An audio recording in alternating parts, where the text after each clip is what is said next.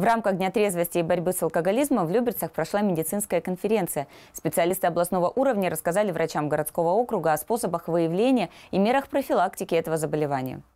Выявлять алкоголизм у населения должны не только узкие специалисты, но и врачи общего профиля. Как предотвратить этот страшный недуг у человека, как предупредить и помочь избежать серьезных проблем с алкоголем. Специалисты областного центра медицинской профилактики и регионального наркодиспансера делились с коллегами личным опытом, проверенными методами. А люберецкие врачи, в свою очередь, рассказали о том, как эта работа ведется в нашем муниципалитете. Мы очередной раз заявляем ну, общественности, и медицинской, и гражданской общественности, что, что есть такое вот зло, алкоголизм, и с этим все-таки надо бороться определенно.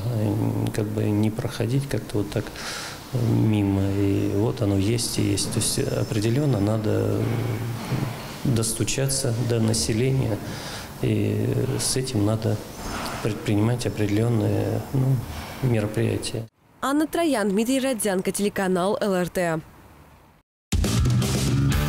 Всем привет! Я Анна Троян, вы смотрите ЛРТ. Подписывайтесь на наш канал на Ютубе и ставьте лайки. Будьте в курсе самых важных событий.